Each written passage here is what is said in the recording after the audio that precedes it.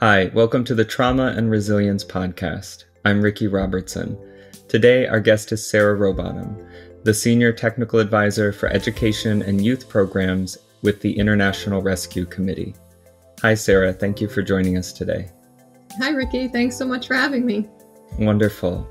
So, to start off, we're going to talk today about ways to support students who are refugees or have experienced forced migration. Sara, would you tell us a little bit about the work that you do with the International Rescue Committee? Sure. Um, so, the International Rescue Committee is an organization that works across the arc of crisis in a broad range of sectors from safety and health, economic well being and power, and of course, education. Uh, our mission is to help people whose lives and livelihoods have been shattered by conflict and disaster to survive, recover, and regain control over their future. So, if I were a teacher, your organization could actually help me understand how to better support my students who've experienced forced migration and kind of have an understanding of what they and their families may be going through and how I can, you know, show up as an educator to to hopefully better support their learning and their overall well-being. Absolutely. We do some uh, educator professional development uh, in different offices, you know, engaging with our school district partners or individual schools or sometimes with state departments of education uh, to offer professional development to educators. Uh, we also produce some guidance materials um, that talk about, you know, how to understand uh, the experience of forced migration and how to, um, and, you know, strategies that educators can use in their work, you know, to support students affected by forced migration. And we have a couple of online e-modules that that also educators can access to do some of that learning on their own or in partnership with their peers. I love that. And are the e-modules are I'm just going to ask, are they free? yes, they're free. Uh, they're on the uh, Kaya Humanitarian uh, Academy platform, which is a free platform that a lot of humanitarian agencies use to kind of house learning in one place, but anyone can create an account and access uh, trainings that are on there. Okay, we will absolutely put a link then to those in the show notes so that folks can access them because that would be an incredible resource. And I love free things, and I know a lot of educators love free things. And so to be able to access some modules around trauma informed care and practices to better support students uh, especially those who've experienced forced migration. I'm having one of those moments as I hear you speak where I'm thinking about when I started teaching. I started as a New York City public school teacher. And at the time, I worked in one of the most diverse school districts in New York City. And I worked in a school where about, at that time, about 80% of our students were immigrants or refugees. And a lot of my students had experienced forced migration. I had students from Tibet. I had students who, who emigrated from Haiti after the, the earthquake a little more than a decade ago. And I had so many students who had experienced forced migration for a variety of reasons, whether it was political conflicts or natural disasters. And there was no, I didn't receive any training on how to support these students. I just went in and tried to teach math, right? Having no idea what these students might have gone through or be going through. And so I guess I'm just curious when you're talking with teachers, what are some of the simple ways that folks could could better support students who are experiencing this? Our work in, at IRC, you know, is very much rooted in trauma informed care principles, which I know you're you're an expert in. Um, and we we use a model we call healing classrooms or healing learning spaces, um, and it focuses on promoting five things that students who have experienced forced migration often need restored in order, you know, to create the conditions for learning. Mm. Um, and those five things I think are really helpful for educators to keep in mind, you know, when they're when they're thinking about their work with these students. And so those are sense of control. So you know, our students need to regain the ability to feel a sense of agency with what's going to happen to them throughout the day, feel like they can influence it. Um, a sense of belonging, so feeling seen, understood, and valued and cared for in that community. Um, a sense of self worth, so feeling competent and, and worthy. Um, to have positive relationships, so having safe and stable connections with educators, other staff, and other students and then intellectual stimulation. And by that, I mean you know, understanding and seeing the value of the learning goals, you know, feeling appropriately challenged, feeling that they're making progress, and being able to draw on their funds of knowledge to experience success. So think about what you're already doing with students that support sense of control, that supports sense of belonging, that supports positive relationships. Um, and then think about what are ways that maybe you could enhance that uh, and do that better. Because as you said, the school district you worked worked in was incredibly diverse. Um, that means that the students' experiences are cre- incredibly diverse, their educational histories and backgrounds and, and linguistics. So, as educators in that in that kind of context, it's going to be impossible to know like everything about your student. I mean, yes, like do the research, do the work to develop an understanding of the backgrounds of your students. Um, but you know on the whole keeping these kind of foundational principles in mind i think is really helpful and and sense of control is really huge um, mm. you know that one if we're going to pick one to start with you know that's really square one um, and we focus a lot on predictability and consistency and i'm sure that educators listening have routines you know have um, done things to create an environment that is predictable and consistent. But thinking about that from the lens of students that are brand new to the culture and are often learning the language um, and not only the language of like the academics and the content but learning the language of the school culture of the school expectations. And think of it from that angle and like what can you do to increase students sense of control you know from that perspective can you translate documents like schedules or agendas or add visual aids?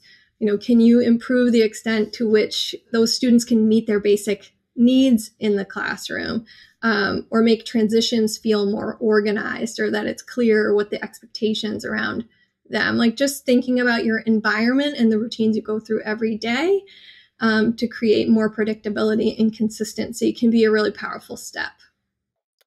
I think that's I, that's excellent advice because when you mentioned like students might be learning the language, I can think of students, many many students I had who came into my classroom and didn't speak a word of English. I didn't speak a word of their native language, and and so there was just basic communication. Right, it was was a challenge in and of itself for both of us, understanding one another having them feel that sense of connection and belonging when folks are, are learning how to communicate.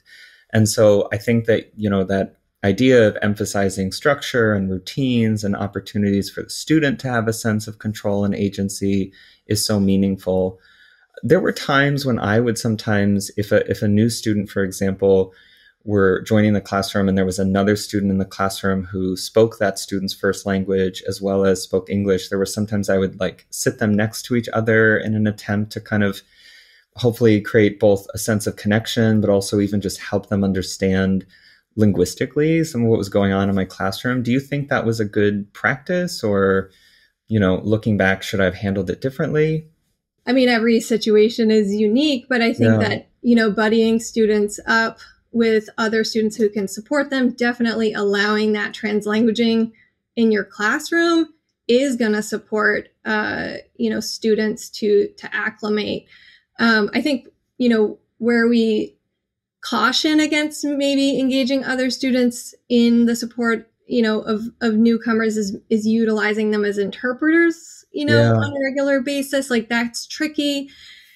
You don't know what dynamics are necessarily at play, especially if we're talking about like siblings or something, you know, maybe one sibling speaks better English than the other one. I, you know, I kind of caution against um, asking students to translate. Um, we should really try to leverage interpreters um, or you know other bilingual staff where that's possible for that. But definitely having um, peers as well as staff members that students have identified or you can help them to identify that can be like go-to people for them whether that's like to help them understand the instructions that the teacher is giving or to just understand that things that are happening in the environment, like who can they ask those questions to?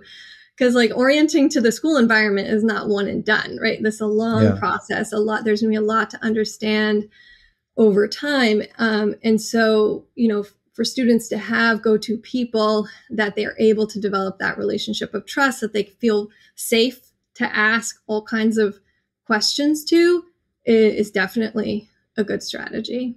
What I'm taking away as an educator is really realizing this might be a journey of progress, not perfection. Like I'm going to have to probably make mistakes but and and have to make time to reflect on my own practice and reflect on what's working and what's not working to meet the needs of a student does the work you do with IRC also help educators to understand kind of how to respond in those moments when we're seeing symptoms of trauma show up in the classroom?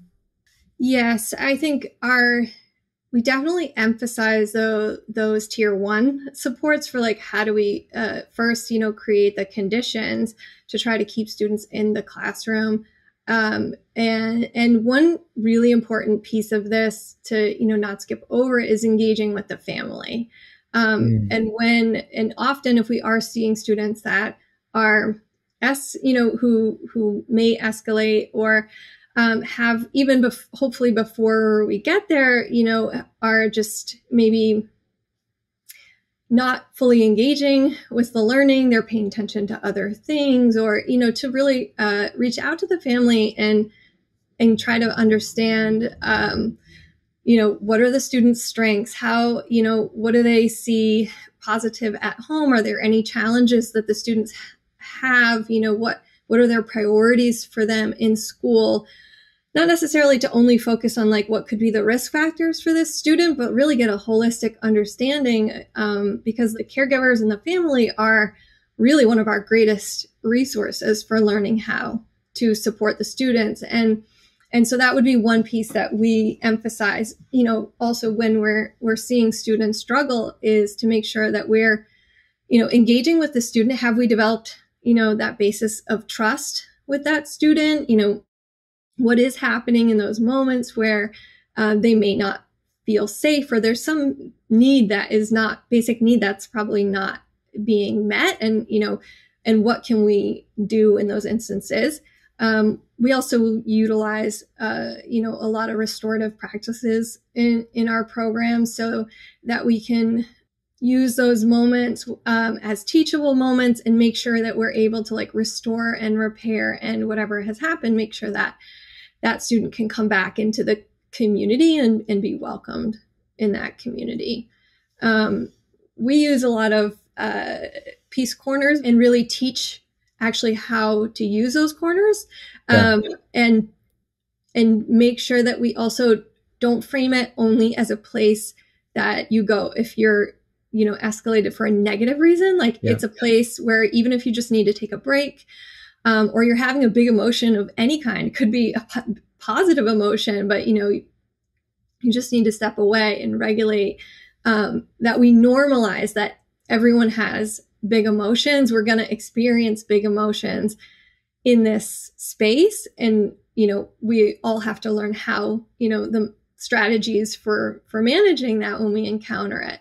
Um, so that's another piece I love that. And I think for folks that aren't familiar, right, having a peace corner is really having a, a, calm space, intentionally set aside in the classroom where students understand that they can go there. Maybe they set a timer, depending on the age of the student. Maybe there's stuffed animals or fidgets or something to draw or color or just an opportunity to take some deep breaths and kind of reset and, and manage some of those big emotions. And it really is kind of a, a shame free approach to managing those big feelings during the school day. And it's a space that is available for all students to use, right? And it also helps kind of the whole class understand how to have empathy for each other while also building those self regulation skills and those skills that help them to manage those big emotions. As educators, we have to be thinking about our structure and routines. We have to be thinking about opportunities to help a student have a sense of control over their day, maybe even use a visual schedule or help them with translation, think about peer supports, and also ways to connect with families and all of that's a lot and so i really hear also that that as educators we we have to maybe have some grace for ourselves in this work and to also look maybe for ways that as educators we're not alone in this work to rely on our colleagues and hopefully really a team effort as a school to best support all students but especially students who are refugees or have experienced forced migration. Um, I'm curious, Sara, just to pivot a little bit, what brought you into this work? Kind of, you know, personally, what brought you to the work you do with the International Rescue Committee?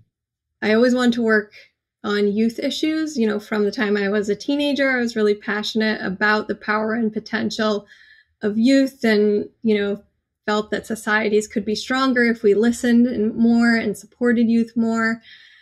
Um, I grew up on a dairy farm in rural Maine in a you know pretty isolated community, which was wonderful in many ways. But I always had this deep desire to engage with the rest of the world and um, you know on international issues. And in college, I took a class on humanitarian affairs and really got hooked. And so I made a lot of expensive mistakes, which, you know, sometimes can be fortuitous too. Um, one of those was thinking I could live on an AmeriCorps salary after college. mm-hmm. but this was my, my entry point. I fell into uh, working with youth in Baltimore County in Maryland who had been expelled from middle school and then from there, I went to an amazing place that was called the Malcolm X Youth Center in Baltimore City, um, where I progressed like to working with youth who are a bit further down the path of alienation from mm. school and longer term impacts of adverse childhood experiences, you know, especially from drugs and poverty and community violence. I mean, we had three students who were shot and killed the year, the one year that I worked there um, which really gave me a much deeper understanding of the daily traumas that a person can get normalized to and how deeply that can affect a person and especially uh, young people. And, but I also felt like I had to find a way to merge my passions for this work with youth with international affairs. So I decided I had to go to graduate school. Upon graduating, I was able to get a job in IRC's New York City office uh, doing youth and education work uh, in the Liberian community on Staten Island. Uh, and and that's where I felt like I found my home, this nexus of the global and the local and the youth. Wow.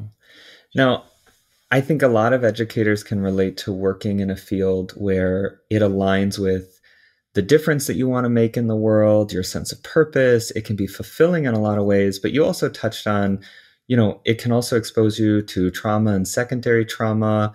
And I'm curious, you know, how have you kind of cared for your well being so that you can stay in this work? Because I imagine sometimes it's got to weigh heavy on your heart.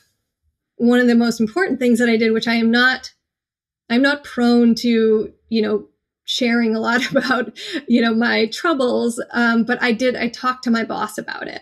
Mm. Um, and and so making sure I shared what I was feeling, it was really important one to kind of like sitting with that those emotions and navigating through them. Um, the other thing is that I rely very heavily on dance as my outlet. Um, I, like I need a physical outlet. I dance is my other passion and interest, and I keep that alive. And I notice that when I let that slip at all, that um, that I need to bring it back. Also, you know, mindfulness and breathing exercises. So, Sara, you've kind of mentioned, you know, the importance of linguistic supports for students. Would you say a little bit more about that?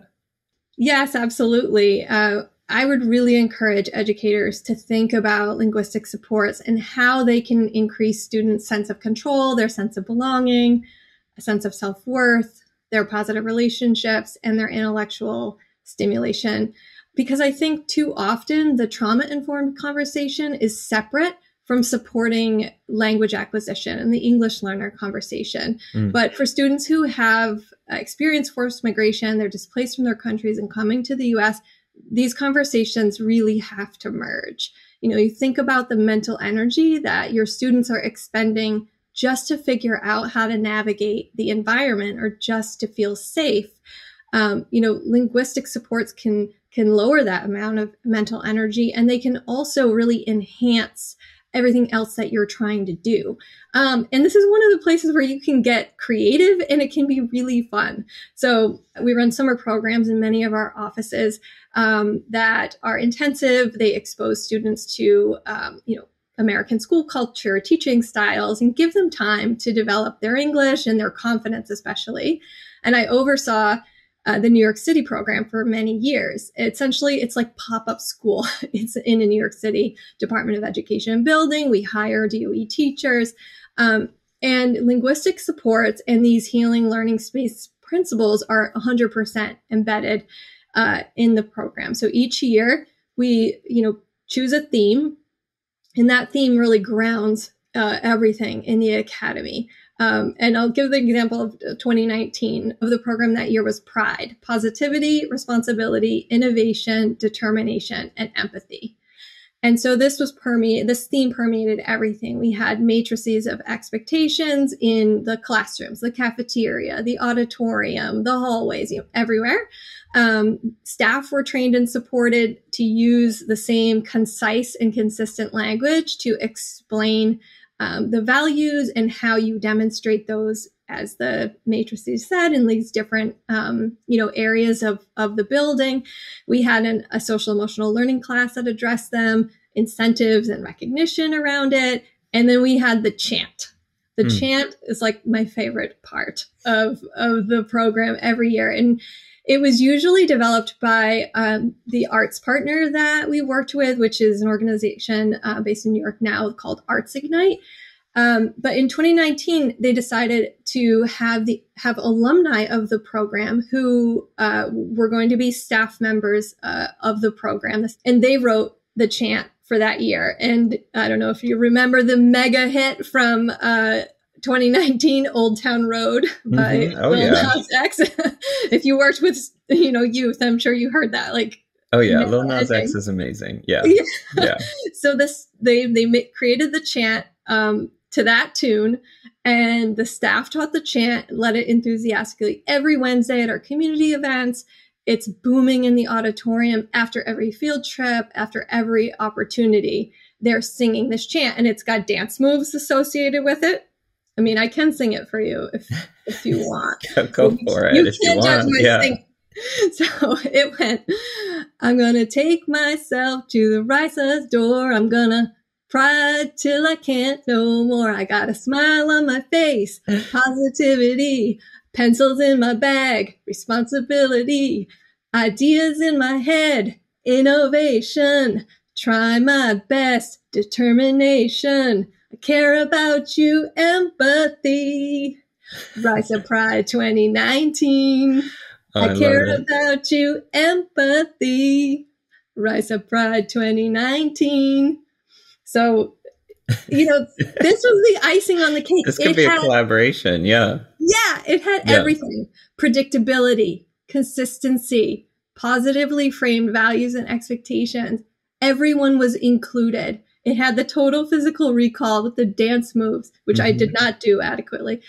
It was relevant, you know, and at the end of six weeks, every student from age four to 21 knew and understood those values. Mm. Um, and the data showed it. You know, the program, in a program where 100% of the students have had adverse childhood experiences, most students were successful tier one. We had, you know, small numbers of students needing those extra level layers of intensive supports. And it just really showed the power of like when you're intentional about addressing those five principles um, and embedding the linguistic supports, like how successful that can be. I love that story. It's such a beautiful example, and it integrates so many important trauma informed practices and the linguistic supports and creating that sense of belonging and also fun and joy, which is so important and so healing.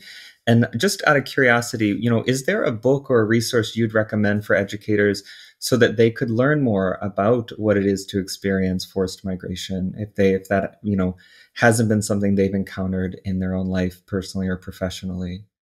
Yeah, there are there are many books out there. I mean, uh, but one that I've read uh, relatively recently um, is called "Somewhere in the Unknown World: A Collective Refugee Memoir." It's the author's name is Kao Kalia Yang, and I hope I'm saying her name correctly, but I apologize to her if I didn't.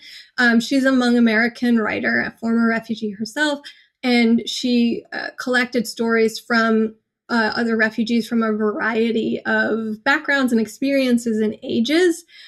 And to me, I sent this book to all my friends uh, a couple of holidays ago because it was just, um, it was intimate, mundane in the best way you can imagine that word being used, mm-hmm. um, and just real. Um, and and for that, I found it really, really powerful. And it just it it's not one experience; it's many experiences. And so that for that, I think it's really incredibly valuable.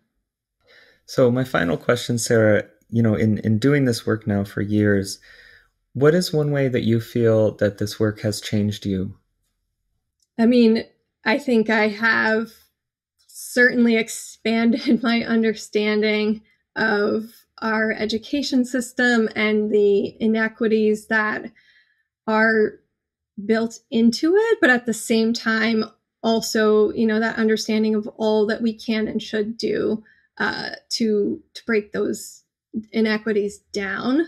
Um, but more personally i think uh, it, it's really increased my my self-awareness you know uh, trying understanding more and more about trauma informed care and trauma informed education and the intersectionality of so many issues and how they affect individuals i think has helped me to understand a lot about you know things that have happened in my own life or things that have happened to my loved ones. Um, and I, hopefully that has made me more empathetic and also you know a better partner and mom and daughter i hope that's what my family would say Fantastic. And thank you, Sara, so much for the joining us for this conversation and for the work that you and your colleagues do at the International Rescue Committee. I got so much out of this, and I appreciate you and all that you do. Thank you. Thank you. The Trauma and Resilience series is made possible by a partnership between the National Education Association and WETA. For more information, please visit adlit.org/trauma.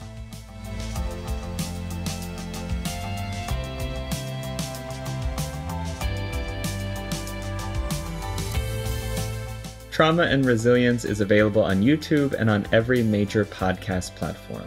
If you like what you've heard, please subscribe to the whole series so you won't miss an episode.